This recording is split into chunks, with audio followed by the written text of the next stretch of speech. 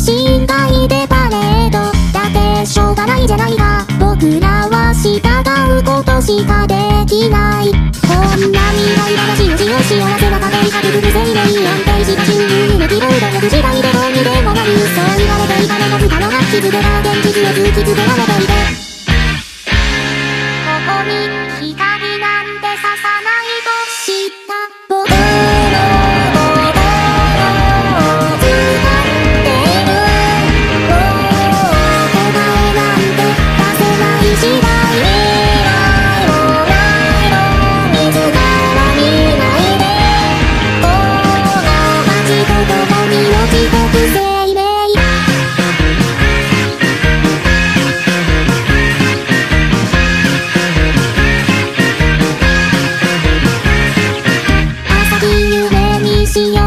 と今日も笑顔。を振りまく感情なんて全て切らさえない。僕は